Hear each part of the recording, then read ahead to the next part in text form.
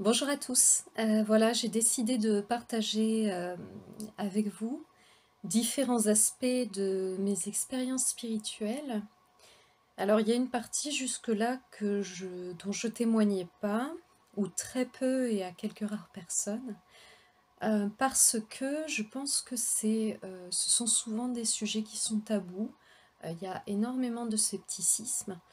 Et malgré tout, je pense que c'est important qu'on puisse en témoigner euh, parce que ça arrive et ça arrive certainement plus fréquemment qu'on le, qu'on le dit.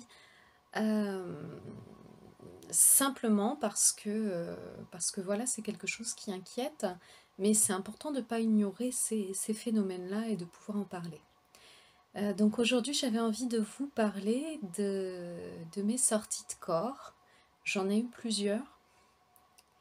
Euh, j'en ai eu plusieurs et, euh, et je, vais vous en, je vais vous en exprimer deux particulièrement, puis après je vais vous donner un peu mes, mes interprétations de ces phénomènes qui restent euh, une carte subjective, hein, bien sûr. Parce que, parce que ça me semble un, sujet intéressant. Alors je vous remets un petit peu le contexte. Euh, personnellement, euh, mes expériences spirituelles, elles se sont ouvertes il y a à peu près euh, trois ans. Il y en a qui étaient là avant, mais on va dire que je les ignorais, j'en tenais pas compte parce que ce n'était pas dans ma culture, ce n'était pas dans mon éducation et parce que c'était pas ma configuration d'esprit. C'est-à-dire que bon, moi j'étais un petit peu, j'étais l'artiste de la famille, oui, euh, j'avais une intuition qui était très forte, mais euh, il fallait que les choses soient quand même très logiques. C'était important pour moi de pouvoir comprendre. Euh, donc tout ce qui était de l'ordre de, la spiritualité, je le rejetais pas parce que je, je pense qu'intuitivement je voyais bien, je vivais des choses qui étaient interpellantes, mais je n'y croyais pas spécialement et euh, je ne cherchais pas à, aller vers ça. Et puis un jour, j'ai eu un moment de, résilience euh, qui m'a plongée dans une semaine de silence. Et euh, j'étais quelqu'un qui ne méditait pas avant. Et j'ai fait l'expérience de la béatitude, j'ai fait l'expérience de l'amour divin.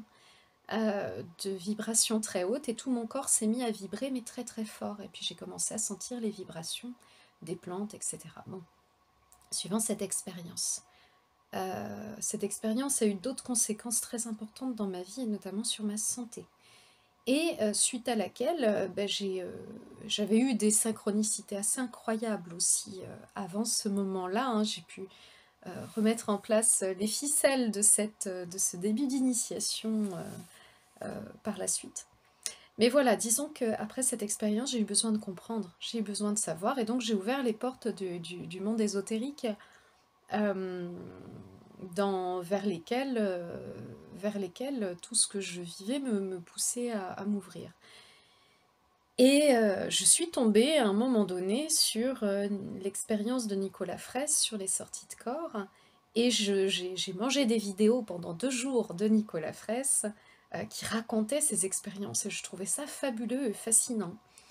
Et euh, tout en me renseignant en même temps sur où on en est sur le cerveau humain, euh, qu'est-ce que qu'est-ce que ça dit au niveau de la science, etc. Et puis c'était un jour à midi, j'étais avec mon compagnon à cette période-là, et euh, donc j'avais euh, regardé euh, toute la matinée 3-4 heures de vidéo de, Nicolas Fraisse où il parlait de son expérience.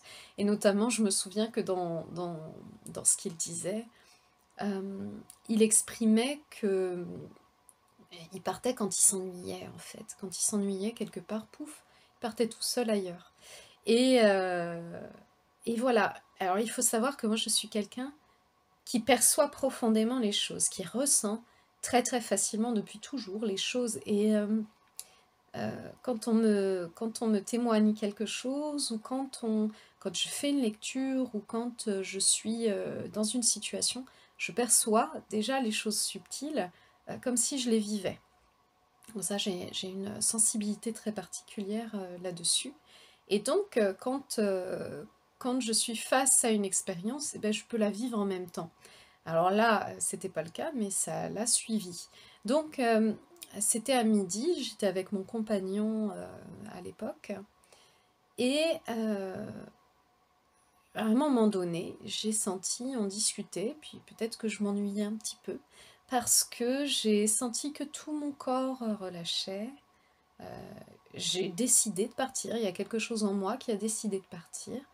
Et au moment où, alors tout le corps relâchait, c'est vraiment, on sent que d'un coup, c'est comme si il n'y avait plus rien qui tenait.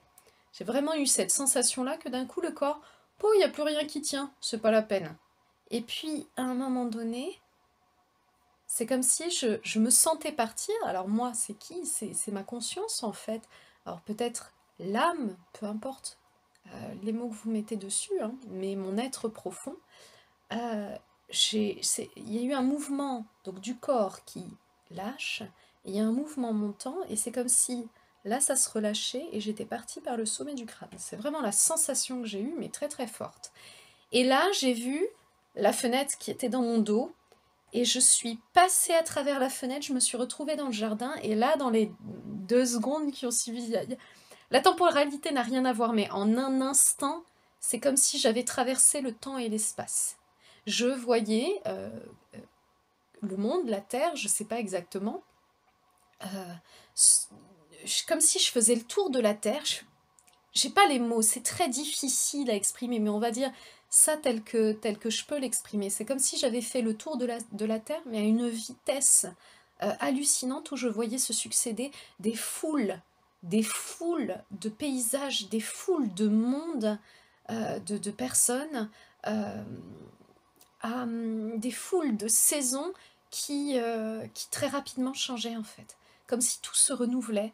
Et je... Ouais, à une vitesse absolue, vraiment très très très très... Euh, euh, peut-être à la vitesse de la lumière, je n'en sais rien, mais euh, c'était très fort comme expérience. Puis à un moment donné, il y a juste quelque chose, comme sur un autre plan, qui m'a appelé, qui disait mais mais où là? Mais où? Et du coup, ben, c'est comme si j'avais décidé que, eh oh, faut, faut revenir. Et puis, j'ai senti ce mouvement-là, qui revient dans le corps. Mais vraiment. Et là, euh, c'est comme si je voyais de nouveau avec mes yeux.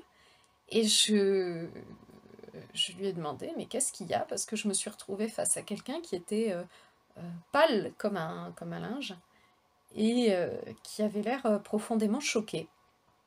Donc, donc voilà, il m'a demandé, mais qu'est-ce qui s'est passé? Et sur le coup, j'ai pas réussi à lui répondre parce que je réalisais la chose, je réalisais mais à moitié la chose extraordinaire qui venait de se passer. Et euh, avant de pouvoir lui répondre, bah, il fallait que je, que je cerne un petit peu plus, en fait, je, je, sais pas. Et, et, à un moment donné, quand on revient à la réalité, c'est facile de perdre ça. C'est comme si ça pouvait s'effacer. Mais là, ça s'est pas effacé, et je pense que c'est parce qu'aussi, il m'a interpellé, il m'a demandé vraiment euh, de, de, lui exprimer. Et du coup, euh, ça m'a permis de le conscientiser davantage et de le, graver cet instant-là. Et sur le coup, je lui ai dit non, mais euh, rien. Et bon, on n'en a plus reparlé de l'après-midi. Et le soir, il est revenu vers moi. Il m'a dit il faut que tu m'expliques ce qui s'est passé tout à l'heure. Donc je lui ai demandé qu'est-ce que tu as vu? Et il m'a dit tu as pris dix ans d'un coup ton regard était vide. Tu n'avais plus d'âme. Il faut savoir que cette personne, c'est quelqu'un de pragmatique, qui est très très... Euh, euh, qui est plutôt... Euh, enfin, qui est scientifique dans, sa, dans sa vision des choses et dans ses démarches, hein, plutôt, en tout cas qui va, qui va se présenter comme ça, et c'est vrai qu'il a cette, cet état d'esprit-là. C'est important pour lui euh, c'était important pour lui d'avoir des preuves, c'est-à-dire de, quelqu'un de très sceptique en fait. Euh, pas forcément euh, radicalement fermé à ces choses-là, mais voilà, il lui fallait des preuves et, ça se comprend très bien. Mais peut-être un petit peu mal à l'aise avec cette dimension-là, en tout cas telle, vers laquelle je me suis tournée dans l'expérience. Et le mot âme, c'est un mot qui ne qui n'entrait pas du tout dans son vocabulaire parce que pour lui, je ne sais pas si dans son esprit c'était aussi affirmatif, mais pour lui dans son discours, euh, l'être c'était euh, tout venait essentiellement du cerveau, en fait de la production corporelle quoi. Euh, donc l'esprit était plutôt la résultante, comme la, science aujourd'hui va, nous le présenter en Occident davantage. voilà, l'esprit ou l'âme ne précède pas ou n'excède pas le, corps physique. Et, et donc voilà, et, je, lui ai, euh, je lui ai raconté du coup ce que j'avais vécu de mon côté. Et il m'a dit, tu ne refais plus jamais ça. voilà. Euh, évidemment, c'est pas quelque chose que j'ai cherché consciemment. Hein. Mais je crois qu'à ce moment-là, avec tout ce que j'ai perçu dans les sujets de Nicolas Fraisse, l'intérêt que j'avais, s'il y avait une espèce de, de, de pas de surexcitation, mais c'est comme euh, waouh, alors mais ces choses-là, est-ce que c'est possible? Et ben, il y a eu une envie de découverte au fond hein, qui était vraiment très euh, profonde et, la possibilité de le faire parce que les portes se sont ouvertes euh, toutes seules. J'ai pas cherché spécialement à le faire. cette expérience-là, je l'ai revécue de cette, avec le même mouvement une autre fois. J'étais en méditation profonde, j'étais très tranquille, très détendue. Et là, c'est pareil, j'ai senti un mouvement qui montait jusqu'au sommet du crâne. Et c'est comme si une part de ma conscience sortait, euh, sortait du crâne. Cela dit, c'était pas exactement la même chose parce qu'il y a une autre part de ma conscience qui est quand même plutôt restée dans le corps. La première fois, j'ai plus senti du tout mon corps. C'est comme s'il y avait plus de lien. Je dis pas qu'il y en avait plus au niveau de la conscience, parce que sinon, euh, alors pour le corps, ça a été très court d'ailleurs, hein, la première fois. Euh, je crois que ça n'a pas excédé deux minutes. Hein. C'est-à-dire que ma conscience, elle, elle, voyageait à la vitesse de la lumière, mais dans la réalité pour mon, compagnon à ce moment-là, c'était un laps de temps relativement court qui était du ressort des minutes, moins d'une dizaine de minutes, ça c'est certain. Donc voilà, je ne sais pas quelle était mon activité physique à, ce moment-là, mais, c'est vrai que j'avais plus, euh, une fois que je suis sortie du corps, euh, le corps, c'est comme s'il n'existait plus. Euh, la deuxième fois, c'était différent. La deuxième fois, il y avait une partie de la conscience qui était encore dans le corps physique, même s'il y avait vraiment une déconnexion des sens. Donc, c'est comme si je ressentais une part de ma conscience ici, une part de ma conscience ailleurs. Et là, euh, c'était une autre expérience parce que je me suis retrouvée ailleurs, mais dans un corps. Euh, voilà, je ne sais pas lequel, et j'ai vu des éléments et j'ai senti des odeurs qui n'étaient pas chez moi et que j'avais jamais senti avant. Donc, c'est-à-dire comme si à un moment donné, ma conscience, elle était à un endroit où elle percevait des sens, euh, des sens et un environnement qui n'était pas celui que moi je connaissais dans lequel j'étais.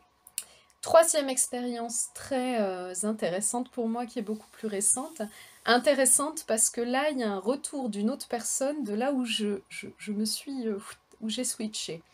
Donc c'est euh, d'ailleurs une double expérience. J'ai rencontré une amie qui est spirituelle aussi, avec laquelle j'ai un lien très puissant, très particulier, et on a des, des perceptions en même temps, euh, même sans communiquer, on voit les mêmes choses du monde subtil, on perçoit les mêmes informations du monde subtil, ça peut être des mémoires, ça peut être des esprits, ça peut être... Euh, voilà, euh, et, c'est très rigolo avec cette amie, par exemple, une fois je suis allée dans un lieu, et, et, là j'ai été face à un esprit qui rigolait, mais qui rigolait, qui rigolait, une, une, une petite bonne femme là qui était là et qui était comme ravie de nous voir et qui rigolait, qui rigolait, qui rigolait. Et je lui ai rien dit à, cette amie.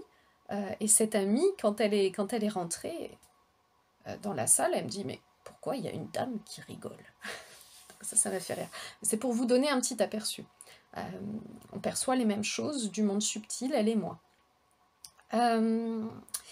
et la première fois qu'on s'est rencontrés, ça a matché tout de suite. On a eu des. Moi, j'ai mon canal qui s'est ouvert très, très grand parce que elle, c'est son cas, elle, est, médium. Et donc, après cette première journée où je l'ai rencontrée, où ça a été comme une évidence, eh bien, j'étais chez moi et et à un moment donné, elle m'écrit sur, euh, sur Facebook, euh, elle était chez elle, j'étais chez moi, elle m'écrit sur Facebook et puis elle me dit Camille, je suis chez toi. Je lui dis euh, Comment ça, t'es chez moi? Et elle me dit bah, Est-ce que t'as as un lampadaire à cet endroit-là? Et puis là, ton canapé, il est comme ça, il est à cet endroit-là. Je Ah oui, effectivement, elle n'était jamais rentrée chez moi. effectivement, bon bah écoute, si c'était chez moi, t'es chez moi. Hein. Et puis elle me dit mais on n'est pas seul. Et puis là il y a tout un, tout un monde qui s'est ouvert à nous et on a eu euh, toutes les deux des visions. Euh, de, de... Mais ça j'en parlerai dans une autre vidéo, je développerai un petit peu plus euh, ces, ces espèces de, de, mémoires qui s'imposent à nous et qui, nous donnent des indications utiles. Et je vous donnerai mon interprétation, parce que je suis moins catégorique que, certaines personnes là-dessus. Et je pense que parfois la conscience, elle nous adresse des messages à travers des histoires. Euh, mais bon, bref, je, rentrerai dans ces détails dans une autre vidéo. Euh, et puis, euh, voilà, bref. ça a été un moment fort. Mais bon, elle a, ce qu'elle m'a présenté, c'est qu'elle avait fait une sortie de corps, manifestement, elle s'était retrouvée chez moi. Alors elle, elle en a l'habitude, c'est quelque chose qu'elle a, a depuis, très longtemps. Et puis, ben, euh, deux nuits plus tard, euh, euh, c'est moi qui, à, à 2 heures du matin, j'ai été réveillée par ma fille. donc j'étais dans un semi-réveil, semi-sommeil. Je l'ai recouchée, je suis allée dans ma chambre et à un moment donné, c'était très particulier. Je j'ai même pas eu le temps de capter ce qui se passait, mais d'un coup, c'est comme si non, je me suis même pas dit, c'est comme si j'étais ailleurs. C'est après coup que j'ai essayé de percevoir ce qui s'était passé. Mais d'un coup, je, me suis retrouvée euh, dans ma chambre, mais j'étais comme si j'étais sur un autre plan. Voilà. Et euh, j'ai dit, mais Sophie, parce que c'est son prénom, Sophie, comme si, euh, mais qu'est-ce que tu fais là, quoi? Et puis je suis revenue à moi et, c'était comme très particulier. Je me suis dit, qu'est-ce qui s'est passé? Parce que c'est comme si j'étais dans ma chambre, mais j'étais pas dans ma chambre. À un moment donné, j'étais plus dans cet environnement-là. Mais je me suis pas sentie partir. C'était vraiment... Euh, j'étais toujours moi, mais sur un autre plan. Et puis, elle était là, et je ne savais pas ce qu'elle faisait là. Mais c'était très sombre, par contre. Euh, donc, j'avais pas de, de, de, visuel très précis, mais je savais qu'elle était là. Et le lendemain matin, je me suis couchée, j'ai rien dit, je me suis dit, bon, voilà. Et le lendemain matin, Sophie, mon amie m'a écrit en me disant, euh, mais euh, pourquoi tu m'as... Mais t'étais chez moi cette nuit? je lui dis, c'est possible, pourquoi? Elle me dit, mais tu m'as réveillée, t'as crié mon prénom, euh, ça m'a réveillée, quoi. Et là, euh, c'était fort parce que... Parce qu'il y avait un retour, je l'avais pas prévenu, je lui ai rien dit. Alors, il y a plusieurs interprétations possibles. Hein, euh, de toute façon, avec elle, on a une connexion particulière. Donc, on a vraiment un...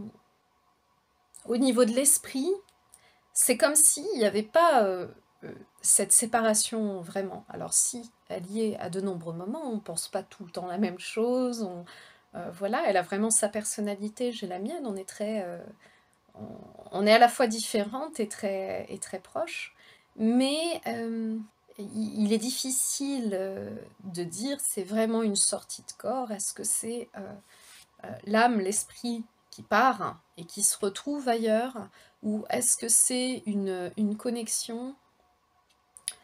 Euh, voilà, quoi qu'il en soit, euh, ces expériences, pour moi, elles sont très intéressantes à vivre, sachant qu'à chaque fois, ça a été euh,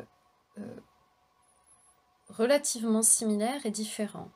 Il y a eu d'autres expériences où je me suis retrouvée dans des, dans des espaces alors, où je ne me sens pas forcément quitter le corps, mais ma conscience se retrouve sur un autre plan.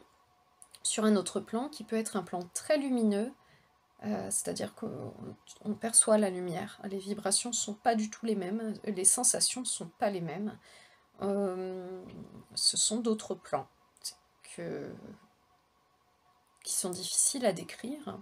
Sachant qu'en plus, parfois, il m'arrive d'avoir une traduction visuelle.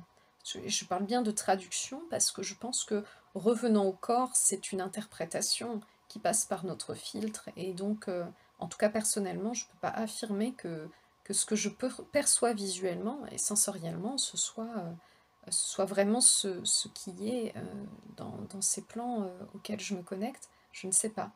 Je ne peux, pas, le savoir. Euh, mais quoi qu'il en soit, effectivement, il y a des plans dans lesquels je me suis retrouvée qui étaient, euh, euh, qui étaient très très lumineux, très intenses. mais très intenses, pas, pas dans le sens fort, parce que c'est très fin, c'est très subtil, c'est très léger en fait, c'est très agréable d'ailleurs. C'est vraiment très léger ces plans-là. mais il m'est arrivé aussi de me retrouver comme dans l'espace, je sais pas exactement. Euh, euh, et, euh, et, voilà, et à chaque fois, ça peut être en tout cas légèrement différent. Mais ce mouvement de, sortie de corps, je, je, trouve qu'il est assez significatif parce qu'on sent physiquement, physiquement, le corps se relâche, comme si notre conscience, elle le tenait le corps, c'est-à-dire quand elle y est, euh, c'est elle qui fait que la machine, elle est en route et, elle fonctionne. Et qu'à un moment donné, euh, si elle part, bah, du coup, euh, elle est plus trop là pour, pour s'occuper du corps, c'est très secondaire. Donc le corps, il est, en inaction. pas total, parce que je pense qu'il y, y, a un minimum qui fait que le cœur continue de battre et et le corps continue de respirer, voilà, mais c'est euh, juste euh, le minimum. Et puis, euh, une partie de la conscience va faire autre chose ailleurs. Il me semble que dans certaines études scientifiques qui ont été faites sur des phénomènes similaires, effectivement, on constate que dans ces moments-là, alors peut-être pas de sortie de corps, parce que je ne sais pas si s'il y a eu, il faudrait, vérifier, mais euh, de méditation profonde où la personne a le, sentiment de partir euh, euh, sur un autre plan, où on voit qu'effectivement l'activité cérébrale elle est au minimum. Au minimum, au minimum. Donc, et d'ailleurs certains penchent sur l'idée que effectivement ça montrerait que c'est pas une activité cérébrale qui fait qui favorise ces phénomènes-là. Bon, bref, peu importe ce qu'on en pense et ce qu'on en dit à l'heure actuelle. Je pense que la science a, tout, à, tout à découvrir si elle n'est pas fermée à ces, euh, à ces phénomènes-là, euh, pour pouvoir en comprendre davantage sur, euh, sur l'être et sur comment il fonctionne. Et, et voilà, quoi qu'il en soit, mon expérience, elle m'a montré qu'effectivement, il pouvait y avoir ce mouvement de sortie de corps, et qu'à un moment donné, ben, le corps il est mis en retrait, et, il se passe autre chose pour la, pour la conscience, pour notre conscience personnelle. Hein. Euh, et là, je ne parle pas euh, pour la conscience universelle, parce qu'à ce moment-là, on est encore cette conscience euh, peut-être plus, plus connectée à son universalité, mais qui reste quand même personnelle. Et puis, il y a différents mouvements, c'est-à-dire que parfois, cette ce qui, part du corps, euh, c'est euh, c'est presque toute sa conscience et parfois c'est partiel. Et euh, dans le premier exemple, j'avais vraiment la sensation que c'était toute ma conscience qui partait. dans le deuxième, il y a une part plus importante de ma conscience qui restait. Parce que l'âme, c'est pas, c'est pas quelque chose de, de, figé, au contraire, une fois qu'elle qu'elle quitte pour moi, une fois qu'elle quitte le corps, elle peut se, elle peut se dissocier, elle peut se séparer, elle peut, elle peut, elle est, elle est pas, euh, et elle peut retourner à son essence universelle, c'est-à-dire se relier à, elle peut se relier peut-être à, d'autres âmes ou autres, peu importe. Je, je peux pas, euh, en tout cas ma vision avec ces expériences-là, c'est que l'âme, euh, l'âme, l'être profond que l'on est, notre essence de vie, euh, est beaucoup plus euh, flexible, euh, souple que quand on est dans le corps, notre individualité. Voilà. Et même sans être, sans vivre cette espèce de sortie de corps, on peut être connecté à d'autres plans et donc notre conscience percevoir d'autres plans un peu déconnectés du corps physique et de ses sensations physiques. Voilà. Voilà pour ces expériences de sortie de corps. N'hésitez pas en commentaire à me faire part de vos expériences personnelles, de vos points de vue, euh, c'est-à-dire de vos, de vos théories, si vous avez des, des idées de, ce que ça peut euh, euh, vouloir dire, que vous soyez dans des, dans des croyances qui soient proches des miennes ou éloignées des miennes. Hein, d'ailleurs, je ne suis pas du tout, suis pas du tout fermée. Euh, euh, l'expérience est une expérience. Euh, les conclusions qu'on en tire, ça reste, ça reste des croyances et il n'y a pas de problème avec ça. et, même, et même moi, c'est-à-dire qu'à un moment donné, on interprète avec le peu qui nous est accessible dans l'expérience. Et c'est toujours un mélange entre notre expérience et notre interprétation. Voilà, donc euh, si vous avez des interrogations euh, sur ces phénomènes, sur euh, posez-les parce que je trouve ça intéressant. Les interrogations, ça permet aussi aux personnes qui vivent ça d'aller plus loin dans leur, dans leur observation de ce qu'ils ont, de ce qu'ils ont vécu. si vous avez vécu d'autres sorties de corps, d'un autre type ou similaire, partagez vos expériences. C'est merveilleux de pouvoir, euh, euh, de pouvoir, euh, oui, partager ça tout simplement. pour moi, ça devrait pas être un tabou. Je trouve ça dommage qu'on en fasse un tabou. On peut très bien rester prudent en se disant, mais je sais pas si au fond le terme sortie de corps est, un bon terme, je n'en sais rien. Euh, mais c'est comme ça qu'on le, vit, qu'on le ressent, qu'on le perçoit, qu'on le perçoit avec, euh, avec sa conscience et avec ses sens. Donc, euh, c'est pas important après le résultat.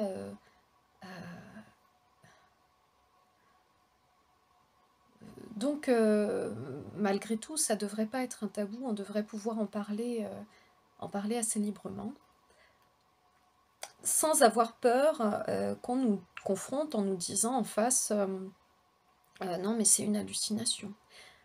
Si c'est une hallucination, il y a quand même des points d'interrogation parce que, ben, vous voyez, dans le premier exemple et dans le troisième exemple, il y a quand même des témoins qui ont, eux, vécu quelque chose qu'ils ont perçu de leur manière qui, qui, qui, qui vont dans le sens de celui qui expérimente quand même. Hein, euh, c'est-à-dire que euh, mon amie, euh, dans, le, dans le troisième exemple, quand elle me fait un retour le lendemain matin en me disant mais t'étais chez moi cette nuit, t'as crié mon nom, tu, m'as réveillé, bah, effectivement c'est ce que j'ai vécu de mon côté. Et ça, bon, bah, scientifiquement parlant, ça me va qu'on soit sceptique, c'est pas un problème.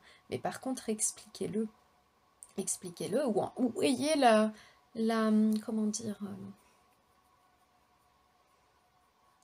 l'humilité euh, de reconnaître euh, qu'on ne comprend pas encore tout et que c'est pas grave et que c'est pas parce qu'on comprend pas encore tout qu'on doit rejeter une expérience. C'est justement le principe de la science, c'est justement d'observer les, expériences et puis de ne pas rejeter les, des, des faits. Alors voilà, après on peut discuter sur ce qu'on appelle un fait, peu importe partagez vos expériences et ce serait avec, euh, ce sera avec plaisir que je répondrai aux questions euh, qui pourraient se manifester. Euh, si ça vous plaît aussi, encouragez-moi parce que c'est ce qui va me pousser à, vous, à vous transmettre encore, encore d'autres expériences vécues et, et voilà. Je vous souhaite une belle journée et une belle euh, continuation et, et je vous dis à la prochaine. Au revoir.